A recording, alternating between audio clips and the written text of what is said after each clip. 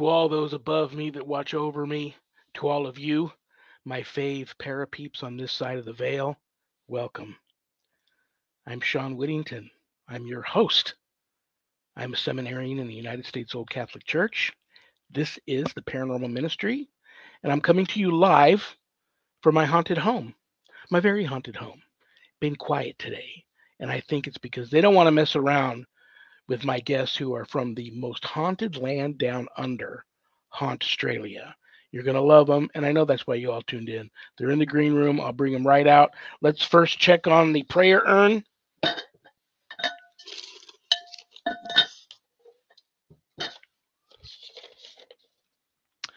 Barbara B. from Nebraska. Hi, Barbara. I'm non denomination. I do believe in God and Jesus and would like a closer relationship with God in 2023. Advice. Well, Barbara, I am very pleasantly pleased to inform you that you're not non denomination.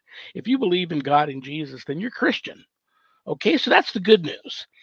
Um, more good news is that uh, I'm a big believer you know, I was just talking to my guest about this in the green room before the show. I'm a big believer in the power of prayer. Trust me, there is power in prayer. The more you pray, the closer you get to God and the closer you bring God to you. So, having said that, if you don't know any prayers, just make the sign of the cross and talk to God as though He's standing right there in front of you. And trust me, He is. And uh, talk to Him in your own words. But I would highly recommend that you uh, learn some prayers if you don't already know some. And just right off the top of my head, uh, five that I say every morning, every night would be the Our Father, the Hail Mary, the Glory Be, the Fatima prayer, and the St. Michael prayer, short version in English. Um, and a matter of fact, you know what you should get if you don't know any prayers? And and you know, Barbara, I talk to people every day that don't know any prayers. They want to pray, they don't know how to pray, or they don't even know any prayers. Get yourself a nice little Catholic book of prayers. They're very inexpensive, and you'll find all of those prayers in there. But start praying more. And you didn't ask for this, but I'm going to offer up a prayer for you, Barbara, and for everyone else that's watching the show that may be feeling exactly like you feel, okay?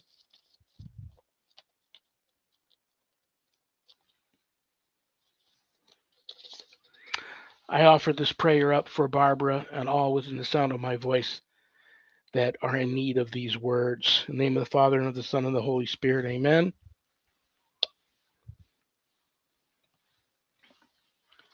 Lord, I do not know what to ask you. You alone know my real needs, and you love me more than I even know how to love. Enable me to discern my true needs, which are hidden from me. I ask for neither a cross nor a consolation, but simply wait in patience for you. My heart is open to you. For your great mercy's sake, come to me and help me. Put your mark on me and heal me.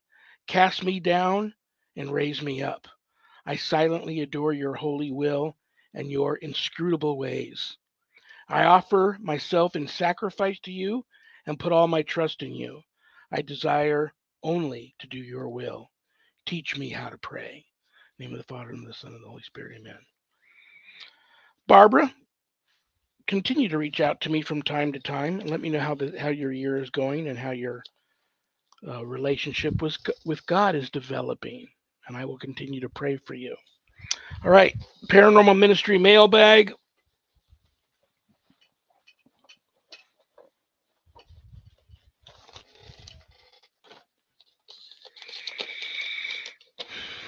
Richard K. from Mississippi. Mississippi. Have I ever gotten a, a request from Mississippi before? I don't remember. Well, this is cool. I may be gifted, not sure. I see spirit all the time. How can I control that? And how can I keep the bad spirits away? Wow, that is a great question, Richard. Um, this is the best advice I can give you it's hard if you are truly gifted it's hard to just shut that off. So i would recommend that you reach out to somebody far more gifted than me and ask for their advice on how to learn how to sharpen and harness your gift because with that will come the the ability to better shut it off and shut it down when you don't want that open sign open for business sign to the spirit world blinking all the time uh, a good person to um, reach out to. Try the the medium susan ahern who's on my show the last monday of every month. She's my co-host for happy medium mondays and she would be i know her she would be more than willing to help you and if she can't direct you to somebody who can help you with that. And let me say one more thing to you. Obviously you are able to discern the difference between the good spirits and the bad spirits or you wouldn't have mentioned um, how to keep the bad spirits away. So i don't know what religious belief system you have in place or not. Regardless try this the next time they come around. You make the sign of the cross and you say this to the bad spirit. I rebuke your presence and I command you, command you in the name of my Lord and Savior Jesus Christ to go directly to the foot of the cross for Jesus to deal with you. I wish you the best of luck. I will pray for you, Richard, and keep me and keep me posted. And let me know if you reach out to Susan and what she said or if you have another um, truly gifted psychic medium that you know of that you can reach out to for help. That's who you need to speak to. Someone far more gifted psychically than I am. Okay. Anything you want to know about my wife and I and our ministry work, go to our website, www.ghost-b-gone.biz. If you go there to visit, keep in mind my wife and I don't charge for our ministry work, helping people with their paranormal issues. So I know times are tough. Believe me, I do. But if you notice the donate button and you're able to do so, click on it and send my ministry in a small donation. I promise you it'll be appreciated from the bottom of our hearts. And trust me, we'll put it to good use. I'm also a certified spiritual advisor. So if you're having some issues of a spiritual nature, not necessarily attached to the paranormal, and you'd like to make an appointment to speak with me about those issues, there's a place on the website to do that. But don't leave the website without navigating over to the page called the WSE course slash book.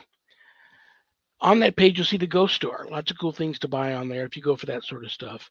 And everything you buy, part of the proceeds go to, to many things that I donate to. But scroll down a little bit on that page, you'll run into my new haunted autobiography, God, Ghosts, and the Paranormal Ministry. And I quote, scariest book I ever published. That was Annette Munich, owner of Stellium Books, my publisher. But don't let that scare you off of purchasing a copy. If you haven't done your good deed for the day yet, part of the proceeds of every copy of my book that is sold goes to support stjude.org, St. Jude's Children's Research Hospital, Nevada, and the ASPCA. So, how cool is that? You get to help some of the neediest children on the planet and the animals too. There is a place where you can buy the book on the website. If it comes from the website, it leaves my office. So I sign it and I enclose it in a beautiful house blessing kit. Or you can get it a little less expensive on Amazon. One more thing I want to throw out real quick. If you get the book and you have had this happen to you, I want to hear from you. I don't know how well you guys can see this that bottom picture, that is an entity that I captured on film at a abandoned location out in the middle of the Mojave Desert. Since I put that picture in this book and published the book, it hasn't happened so much off of Amazon, but some of the people that have purchased the book for me that have left my office have reported seeing that apparition in their home after receiving the book and I've been told some some pretty interesting stories about that, and that blows my mind. If you are one of those people out there that have purchased this book and you have had paranormal issues happen after the book has arrived in your home, I want to hear your story. Your story may end up in you never know where I may be able to take your story to. Um, so I'd like to hear from you. Okay. and it's a great time to buy the first book. There are stories in there that I left open ended because uh, I wasn't able to bring closure to them yet, and they were ongoing. And God, Ghosts, and the Paranormal Ministry 2 Chronicles of an American Exorcist comes out very soon. And I bring closure to a lot of those cases in that second book. So it's a great time to get the first one, get all caught up before you uh, rush right out and get the second book. Scroll a little bit further down on that page, you'll see the Worldwide Society of Exorcists, which I'm a founding member. I offer a 12 week online college level course, Introduction to Spiritual Warfare, through the WSE. And this is the course for all you true warriors for Christ out there that feel a calling and a longing to want to have more knowledge when it comes to drawing your line in the sand, making a stand, circling the wagons, and putting up a good fight against, God forbid, true evil if it ever comes calling. This is the course for you. No, I'm not going to teach you how to be an exorcist. That's a completely different type of calling. But this course is unlike any other course like it. And it's spiritual warfare through my eyes and my experiences over the years. Um, you can enroll in the course there on the website if you'd like more information about it before making that type of commitment. There is a Worldwide Society of Exorcists Facebook page, and you can read more about the course, or just reach out to me and I can talk to you, see if it's uh, the course is right for you. Most importantly, please keep all of my former, current, and future students in your prayers. And all my students that graduate get a stunning diploma, certificate of completion suited for framing, along with some other very special blessed gifts that you can only get from yours truly. So that's my story, and I'm sticking to it. And all of you that want to uh, enroll in it this year, best of luck, and um, and thank you for that.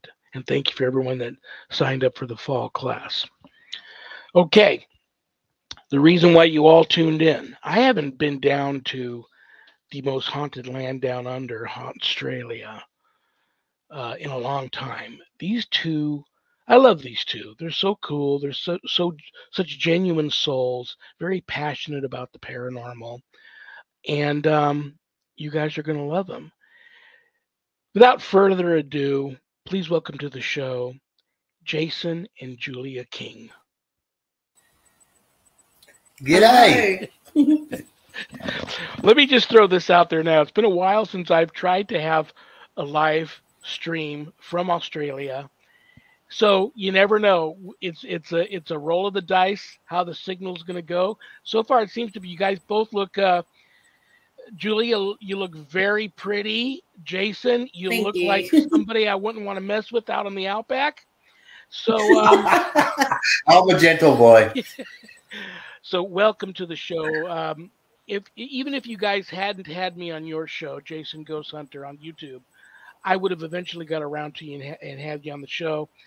So my only rule is I want you two to have fun, so you'll want to come back. And uh, I was thinking about you guys. I think it was probably before I went to bed on Friday. I thought about you guys because here on the TV, you guys were already celebrating New Year's there in Sydney, 19 hours before me. So, so I, if I'm correct, if my calculation is correct, it's lunchtime there tomorrow, Tuesday. Yes. Yes. We're from the future. Yeah, we're in the future. Um, I know what I'm going to ask you guys. So uh, we'll get to the paranormal stuff, but I have to ask you this: How is it? Are you both born and raised in Australia? Yes. Yes. I was born in Sydney. I still live in Sydney. Uh, Jason was born in South Australia, but um, over when he was a child, he, he moved to New South Wales and still here. So How does it feel to live in a land where everything can kill you? um, you kind of get used to it. You get used to it. I mean, I don't think about other than, of course, when you're bushwalking and things, you got to think of snakes this time of the year. Um, but yeah, other than that, we don't think about it. I mean, the beaches, you've got risks everywhere in every country. Um, we don't live in North Queensland or the north of Australia, so we don't have to worry about crocodiles where we are. Um, and spiders, well, I'm not a fan of them. Um, get your house sprayed like everybody else, and you'll be fine. They'll stay outside. and if, if, if, they do come inside, she comes and gets me, and I've got to go and catch it and get it outside. well, I know. I, think about it too much. I know. I told you guys this story about uh, the last.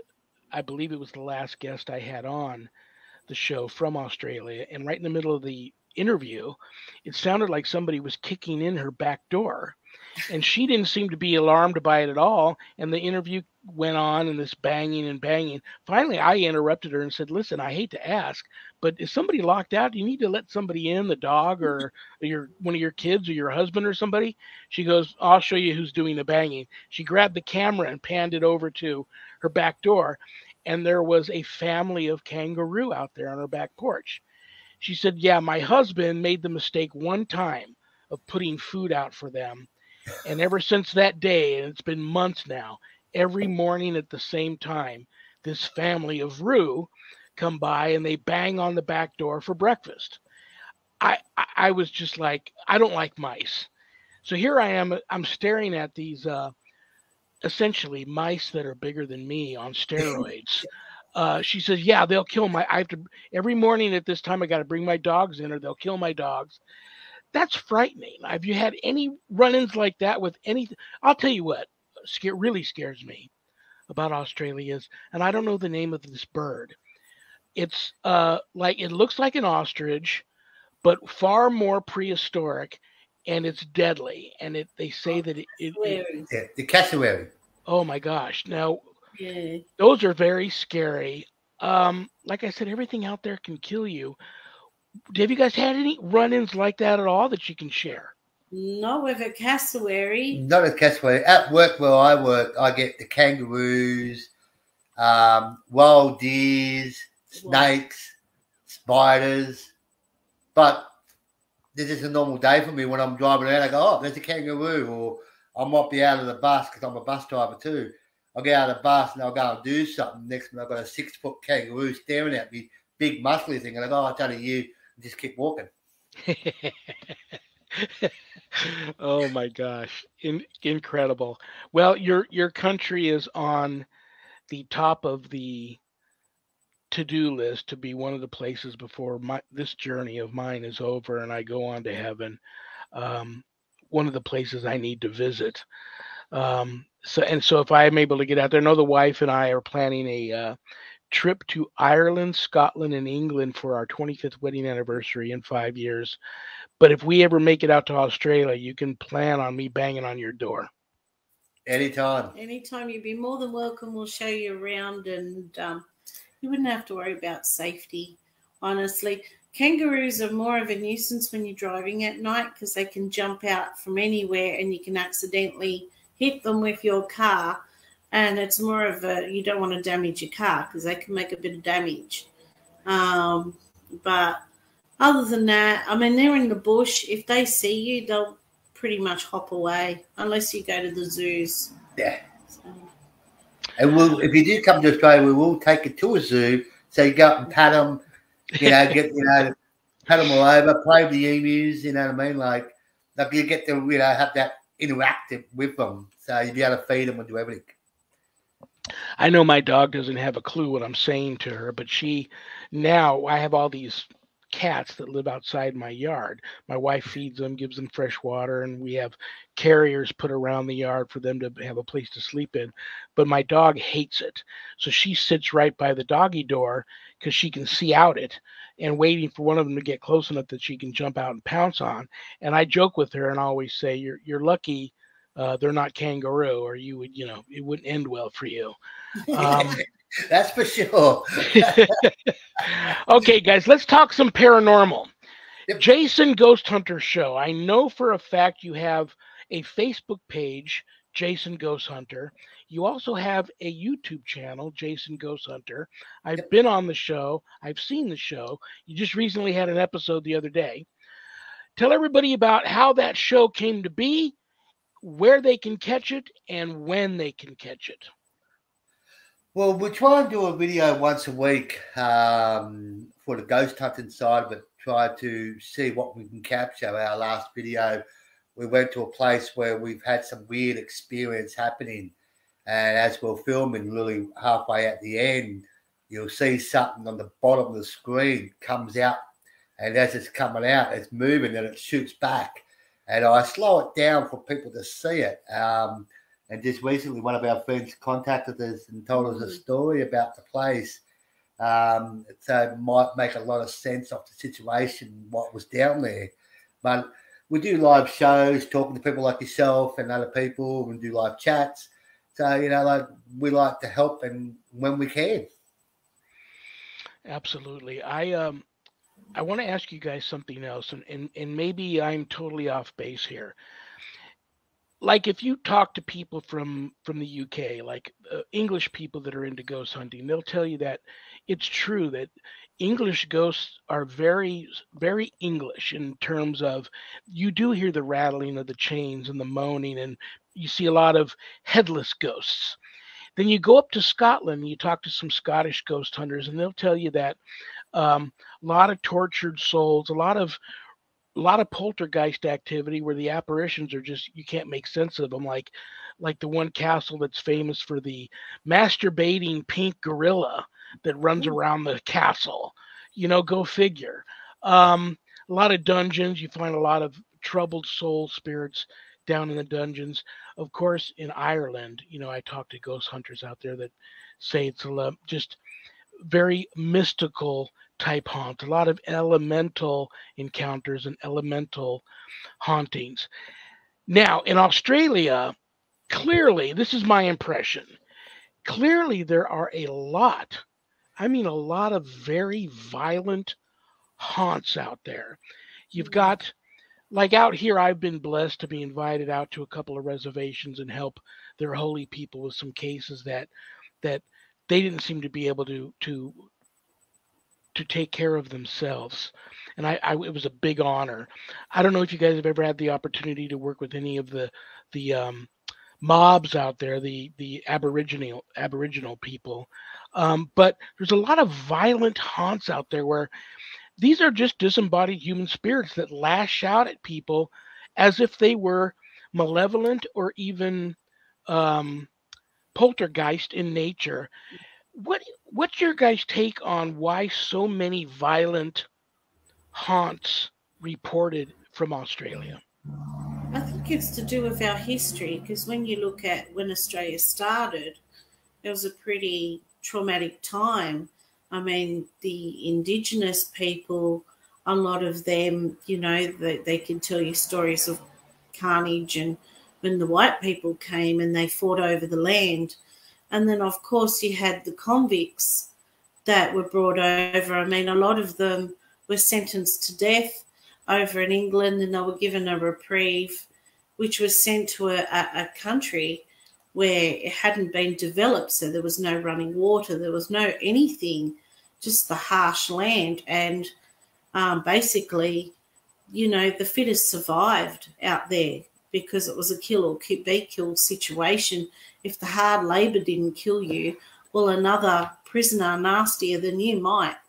You know what I mean? And from what I hear in the history, what I read in it, um, you know, the the guards and the and the and the English police officers, if you like, the soldiers, they were pretty brutal as well to the convicts. So I guess there's a lot of um, dissatisfied souls that roam the earth that didn't feel like they they got their closure or their just desserts. You know, they felt that things were pretty unfair for them, which has carried that grief over into the afterlife. So um, you have a lot of lost souls. I, I, I think that that's just my opinion. You know, when you go to a lot of historic places, um, you're likely to tap into a, con- a convict um, from the past. And you can tell when, like, a lot of people don't believe in spirit boxes and things, but when we use them, you can hear different accents come through. You can hear Irish accents, you can hear them talk in a lingo that would be more suited to their time. And um, I found it very interesting the things that came through. And a lot of them still feel that they're working or they, they don't realize that they've actually passed on. You know, they still feel like they're trapped. I, in my humble opinion, of course, if somebody, re- I do a lot of residential cases. So if somebody reaches out to me and talks to me about uh, having um, something in their home, regardless of what it is, I try to help. I don't do much ghost. There was a time where I did a lot of ghost hunting, but not so much anymore. But I always, even then, I tried to avoid like the insane asylums and the prisons and places like that, because I have found that like I'll go into a home and if it's Aunt B or Uncle Tom or a previous resident of the home kind of lingering around because they had some unfinished business and they had so much of a hold on life when they pass that they're not ready to cross yet. They know that the time that they will eventually have to cross, they see the light. Some of their loved ones have come and and tried to wave them over, but they still try to avoid it because they feel there's some unfinished business but these male- really malevolent behaving um, disembodied human spirits th- their unfinished business Mm. they they won't leave until their unfinished business is taken care of and of course you can't go back to when the, the deed was done when they were either sentenced to uh, do they have did they at one time have executions out there. They Yes, did. They You used know, to they, have- you go back to that, and they, they're they're upset about that. They're upset Mm. about being imprisoned. They're upset about, you know, uh, anything else that may have happened to them that was violent, that r- resulted in their death. Um, have you guys ran into much of that? Yeah.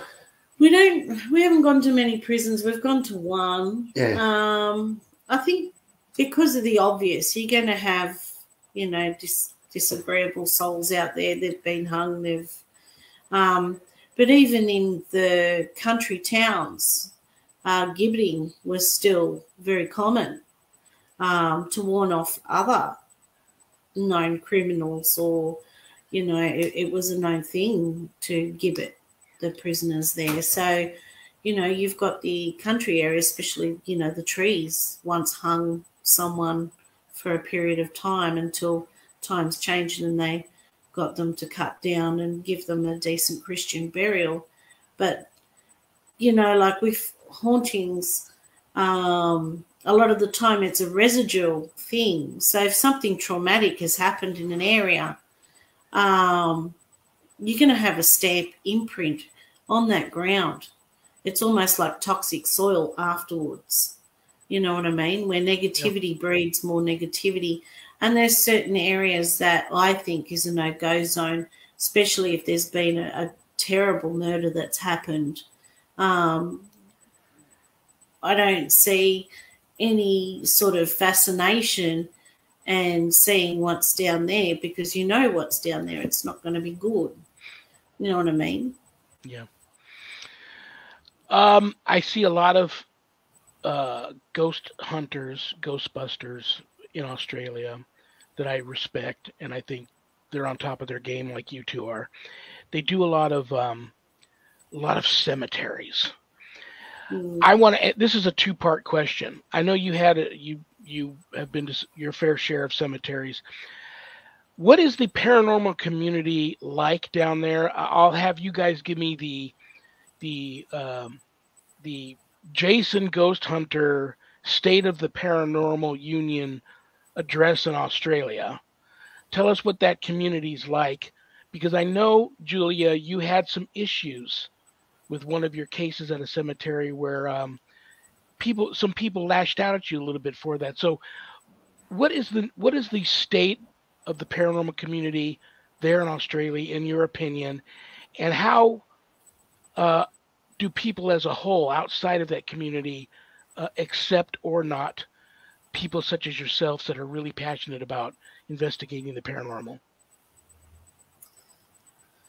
Oh, I don't think um, Australia's is open to spiritual um, the paranormal world as, say, the USA or the UK.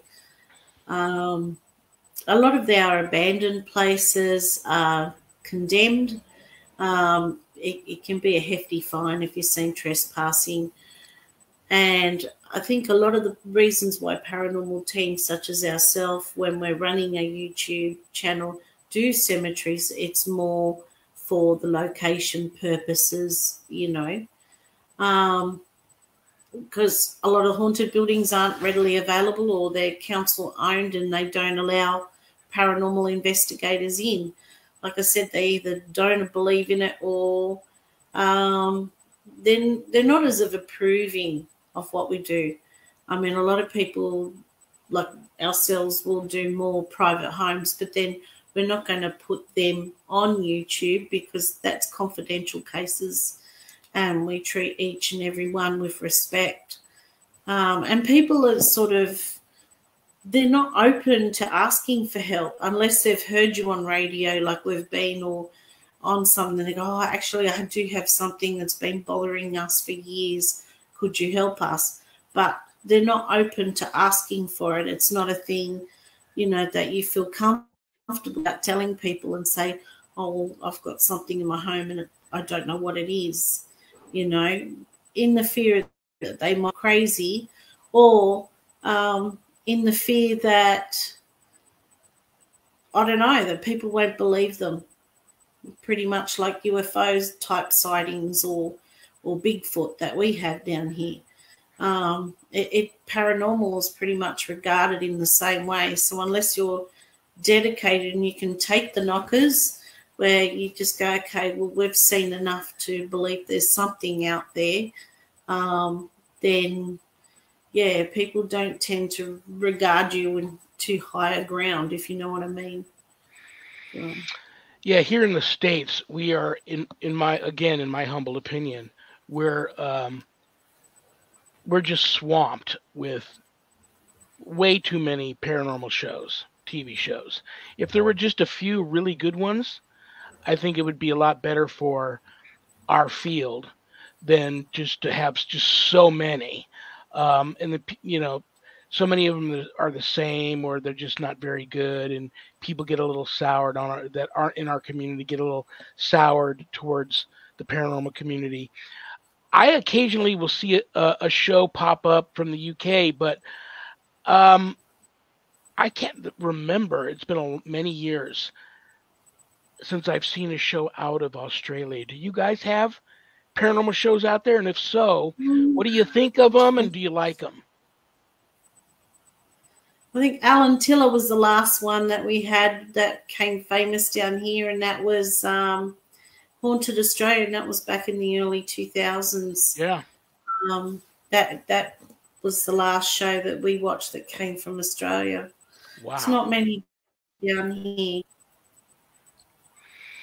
We have a question from Anthony Lewis for you. When demons hide itself as child spirit, how can you tell different between child spirit and demon dress up as a child?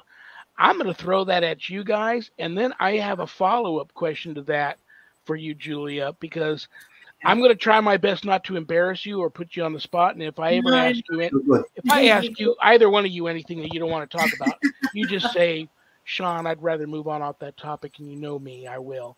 But something happened before the show today. Somebody reached out to me for help, and it's very similar to a situation that you just went through, and we talked about it a little bit before the show started. I'll ask you that on the tail end of this, but do you guys have any um, anything, uh, any feelings about that question? Look, I'm suspicious about any child ghost because um, my personal belief, children of are made of the light and they tend to go straight to God. So I, I do know people believe in children ghosts and they do exist, but whenever a, a, ghost or some spirit entity comes towards and says, I'm just an innocent little child, straight away my suspicions up, especially if it'll say things like, Will you be my friend or can I come with you? Those kind of things straight away I'm like paranoid, thinking uh, this could be something. I will disguised in sheep's clothing here. But in saying that, I tend to treat all spirits in the same way. Um, we say a prayer before we start. We are ask for Archangel Michael and Jesus to watch over us, that things don't attach to our equipment or ourselves. And then we also do a prayer when we finish thanking the angels and Jesus for looking after us, keeping us safe, because we do tend to take it seriously. And we were recently in an area where there was children buried and we did have some devices lit up. Now I can't tell you for sure or not whether it was a child. It seemed childlike, if you like, but um, I tend to treat them all with a little bit of suspicion because you never really know what you're talking to. Well said, well said. And and my two cents on that would be, uh, I usually they can only trick you for so long before they have to show you, you know, Yes. their true their true nature. And um, but yeah, uh, it's a red flag. Always throws a red flag up to me when when I am encountering what I think to be or, or what's presenting itself to me as a human spirit. Uh, Anthony's got a backup one here. Jason and Julia, was there one case you on that you never forgot about? One case that you went on that you guys have never forgot about, like the Jason Ghost Hunter, Julia and Jason King case that really put you guys on the map. in the room. I think there was one. I obviously can't say names now because it's all confidential. But this person was, um, her face was changing and she was talking in Latin and things like that. So we were pretty freaked out. Well, not freaked out, but we were pretty prepared for the worst when we came in to that home. Um, we also had a couple of people that were demonologists here in Australia help us and come on FaceTime. So we had their support as well, and they also gave us tips what to do because we don't call ourselves professionals in anything, um, just basically God's servants. And um, when we got there, like we, you know, sussed out the situation a bit, she was the, the, the person that we were investigating a house was acting like she was possessed from something, but it turned out a sadder story where she was actually possessed by a lower entity that she knew that venged revenge on her when that person died and that person didn't come back and get revenge. So um, that was probably a case that kind of threw us a little bit because, you know, you go to places and we think, oh, we get told that there's something going on, and probably seven out of ten times it's not evil, if you would like to say, you know. It's just that the people are so frightened, they're you know, they're glad to see it go. And once you bless the house, they, they tend to move on. Um, but this one was probably the one that was evil, but we had to work out was it really um, you know, demonic or was it what kind of what what's going on here? So it threw us a little bit. It was, it was a bit of a sad story, but it worked out well in the end. That's all I can say. Mm, Good Um, for you. I mean, out here we have clergy uh, that won't help with cases, paranormal cases, and I get it and I understand. So that can be tough for anybody to to find uh, paranormal clergy to help them with with with a malevolent type haunt. Do you, is it like that out there too, or do you have to pretty much reach out to Yeah, like have to independent demonologists?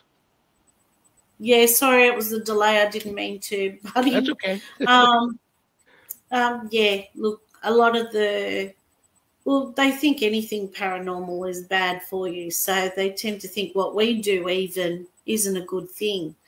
And, um, but then you've got the ones that are believers. They kind of get you to do the dirty work first. They want you to prove to them that it's a, a decent case and have the evidence backed up. And I'm not talking about one visit, I'm talking about several over a period of months. And um, before they'll step in, you know. So the teams that we know that are like that work in that area, demonologists, because we don't really we just do house blessings and we investigate for them. But if we think it's something more sinister, we'll we'll call on their help because they do it all the time. Yeah. Um, they've told us stories that, you know, they're always risking themselves when they go into places like that. And there's been cases where there's been true possessions, and it's been over years, not months, of getting that person healed and the church has basically stepped in a couple of years later wow. um, before they'll act that they're convinced that there's a true thing going on. Well, we have another question for you from Linda Judd. Hi, Linda. Having a conversation with a ghost is a delicate matter. Have you had a memorable conversation with a ghost? That's a good. I one. my brother. Yeah, that'd have to be my brother who's passed on. He's the most cheekiest guy I think I could ever know. My wife knows too now. Um, he's around me all the time. He's guiding me through the industry, what I do for so long. And he gives me a lot of heads up. What's here? He, we might be on site somewhere, and, if there's something negative or something really is in the area, he would go, "Hey, bro, heads up, it's coming this way," or he'll say something smart to me to let me know if it's safe or non-safe, or gives me a lot of eyesight on the other side to where he gives me that information. So yeah, it would have to be my brother that really, you know, for ghost side of it, he's really the one that gives me the runaround and gives me more headaches than you can imagine. That's wonderful, and it's it's you guys must have had a quite the bond in life, and yeah. that carry carries on uh, and he's waiting for you, man. You, oh yeah, got, uh, he's got plans for you when you get up there. And, oh, uh, hopefully it's all good. There's a lot of um, holding something in my hand. You know what I mean? I look, that's what I owe him. You know what I mean? Like we've got to have a, a good time of talking face to face that way. Well, here comes the. I, I have to bring this up. I'll tell you why, Julia, and you'll totally get this. Not only did we have a question here, uh, somebody feeling gi- gifted uh, and not knowing what to do about it, somebody wanting to pray but not knowing how. And I was just reached out to today by somebody, and I get this all the time people who are having issues with their children. And it's very it's a, it's a touchy subject because like you don't have to I get on people all the time for for saying it's okay if you don't believe in God, but be careful what you say and throw out into the cosmos. And for an example, if you hear someone say, I'd rather rule in hell than serve in heaven, don't say that. Don't throw that out into the cosmos because you don't know what's listening and what's going to take that as an invitation to say, mm-hmm. okay, fine, here you go. Um, many children, no fault of their own, get attachments they didn't do anything. They didn't do seances. They're not Ghostbusters. They're not um, devil worshippers, but they're easy targets, especially if they don't have um, a religious belief system in place. So it's no fault mm-hmm. of their own, but they get an attachment. Then the parents don't know what to do. And I just had someone reach out to me with a case like that. And you too, after we had first met, you had had some issues with your daughter. Mm-hmm. So if this person happens to be watching the show, and they could be, um, what advice do you have for parents who feel that perhaps their child may have an attachment? Okay. Well, with the experience I had, um, my child wasn't open to suggestion there might be something around her. Um, so what I did, I prayed for her for in, in her absence. Um, I also cleansed. I put cleansing in her room. I blessed it, if you like. Um, I also had my um, friends say prayers for her. And the one thing I do know, I'm not, like I said, I'm not a professional like yourself. Um, but the one thing I do know about negative energy, they feed on fear and starve on faith. So whatever it is that they believe in, their higher, um, you know, force, God, Creator, if they say enough prayers and have faith that they're going to get heard and their children will be saved, they will be guided in a way that that will happen. You know, you just have to keep believing because the one thing that they always prey on is your fear. Your fear is what will block you. And it's only a normal thing as a parent to be afraid for your children or afraid for somebody. So once you start feeling helpless, they've got you. So you have to be strong and you have to believe that, you know, God's going to pave the way. Like I said, I was led to you and I was led to other people that I knew that dealt with these kind of entities that I could ask for help. And together as a union, we all prayed for that, my child, and, and she's a lot better now. God bless. Uh, I'm I'm so happy to hear that. That made my night, and I feel bad for some of these parents that call me because you can't cram religion down a child's throat. Uh, if they're not receptive to that, even though they may have other issues going on, all you can do is is the best you can do, which is pray for them, and and eventually with with God's help they will come around. But it can be a tough situation. Anthony's back. Hi, Anthony. Question: Is there is there a case that you would not mind going back to revisit? A lot of cases I work, I don't. You know, I'm hoping this situation is. I brought okay. closure to it. What was tormenting this family has moved on, and I don't want to have to go back and help this family again. So, what do you say? Is there any one any one of those cases that that I wouldn't would, go back to? Oh no, that you would go back to. Oh, um, or not, not mind going back to, or and if you want to throw in one that you wouldn't, that'd be fine too. Um, look, I never say no to people. If they want genuine help, we're there for them. Mm-hmm. Um, you know, we've got many different stories. I mean, I think the one that was the most heartfelt was we had a whole family sleeping downstairs, too scared to go upstairs in their house. So were terrified of what was up there. So you can imagine, you know, a family of four children all sleeping in the lounge room downstairs because I was scared. And um, it turned out to be quite innocent, actually. The spirit was actually just a lost soul and could be moved over quite quickly. So, you know, to see them crying tears of relief afterwards and looking around the house and it's hard to describe, but when you've blessed a house and you know God's lights in there, it smells different, it looks different, it feels different. And that was the first thing the wife noticed. She goes, I've never smelt lemons before in my bathroom. Now I can smell my lemons, you know, like um, and the kids were playing in their room and they're like, We're not scared to go to bed now. And it's just such a good feeling, you know. So of course, yes, I do it ten times over to have that relief for them because no one should be afraid in their own home. Absolutely. Uh, any cases you wouldn't revisit?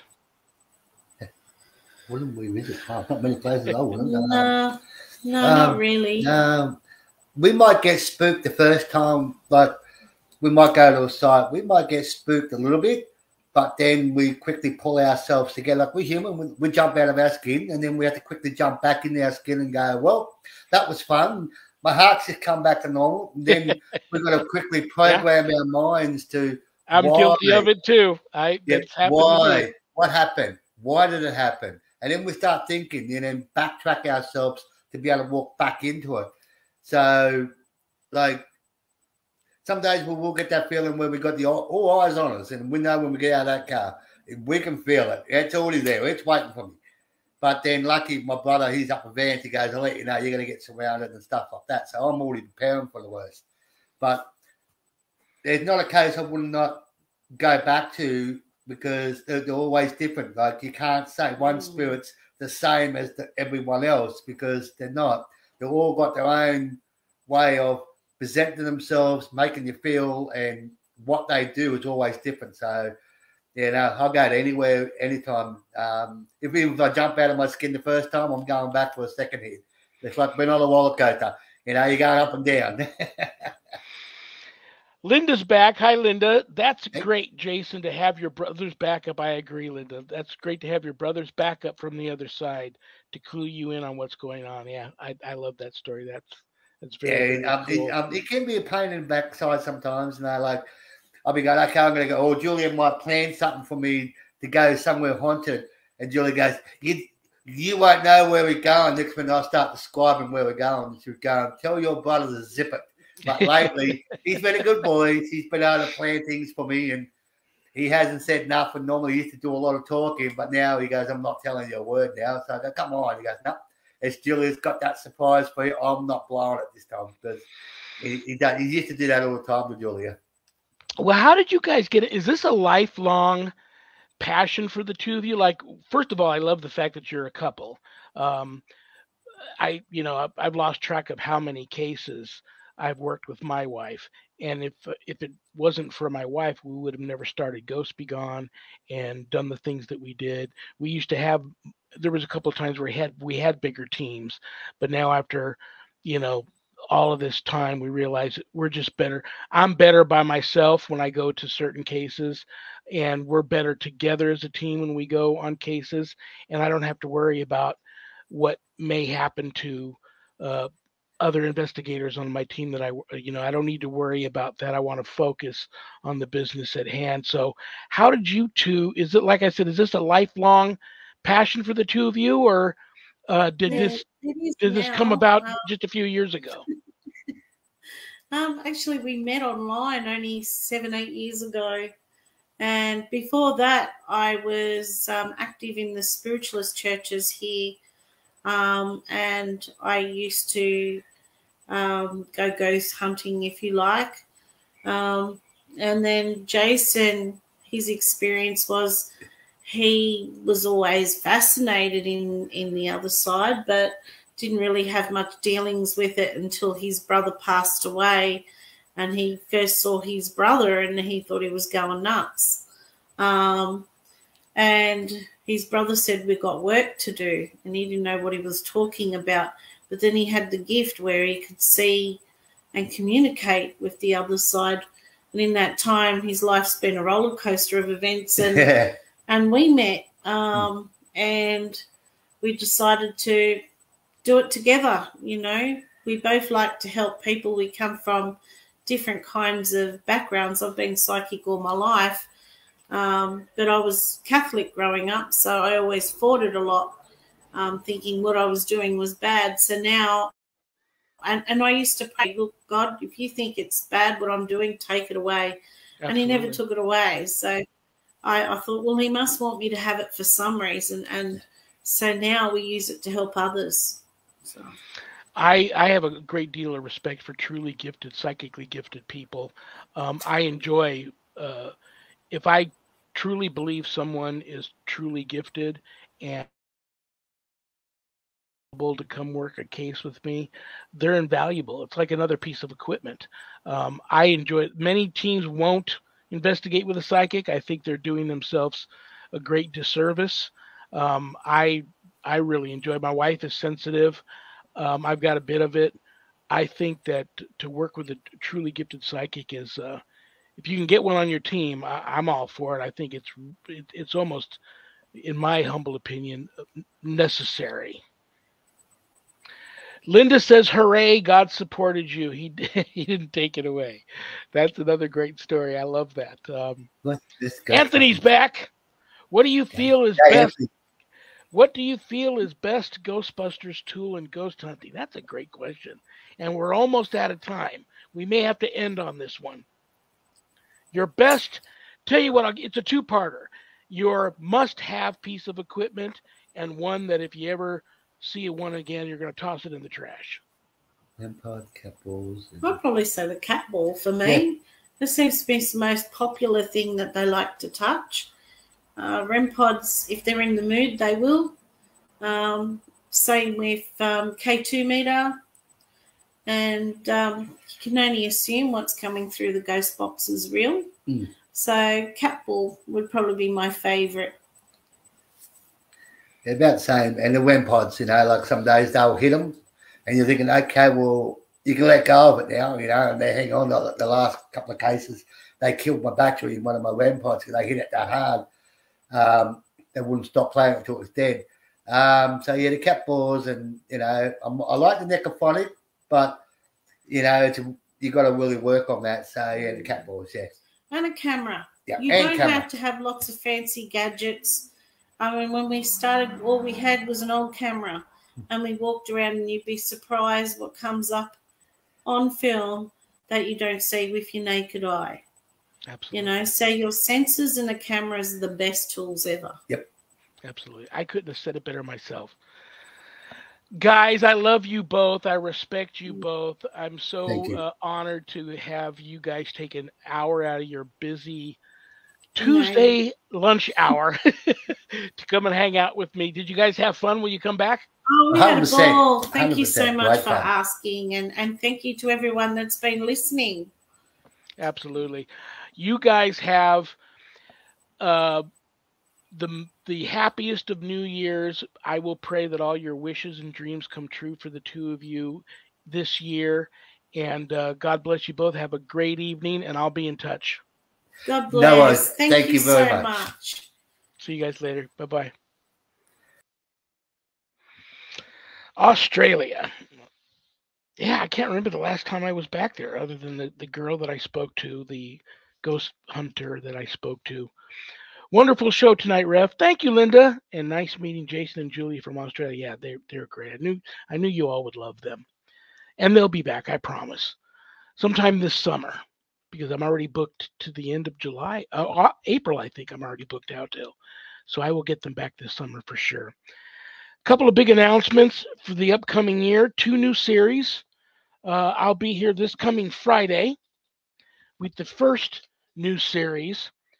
The first Friday of every month for the rest of this year will be Ira Wolfnesson.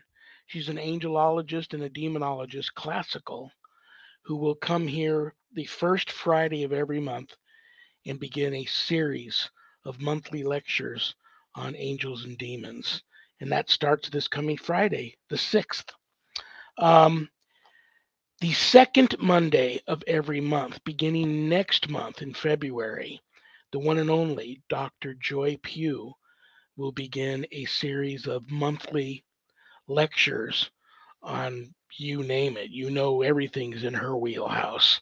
Uh, she's a minister, an author. Uh, I love her too. She's just great. You guys are going to love her. And I'm calling that the Joy to the World series. Uh, Dr. Pugh gets her preach on once a month starting next month, second Monday of every month. Of course, Susan Ahern is back for Happy Medium Mondays, the last Monday of every month starting this month, and will continue on as long as I can keep her coming back every month for this year. So, what else do I want to tell you guys? Thank you all for being here. I don't have a show without each and every one of you tuning in. I want to thank my co producers, Zach and Adrian Clayton. I couldn't do the show without them. CommunityPayItForward.us. CommunityPayItForward.us. Go there. Find somebody that needs some help, and if you can help them, help them. My church, the USOCC.org. Go there if you're interested in my church. Go to bishopjameslong.com if you'd like to attend night prayer, which is Monday through Friday at 7 p.m. Pacific. The link is there. Or if you want to attend Bible study on Wednesday afternoons and Sunday afternoons at 5 p.m. Pacific, the link to that is there also. I want to thank Things Network. I want to thank Temple of Phoenix Rising Entertainment. I want to thank Skeleton Key Network. I want to thank Pact, little p, capital ACT, podcasting, all coming together channel for all of these networks, simulcasting my show. God bless you all for that. And I truly do also pray and wish each and every one of you the happiest of New Year's, and may all your dreams and wishes come true. And it is bad joke time. I'm going to pull a bad joke that one of you sent in out of this haunted carnival barker hat.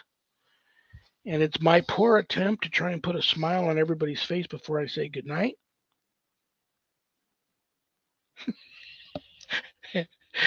Uh, what is the number one cause of divorce?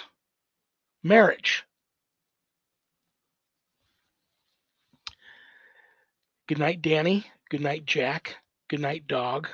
Good night, Harold. Rest in peace. Good night, Ernie. Good night, Bill. Good night, Dan. I love you all. God bless you all. Peace.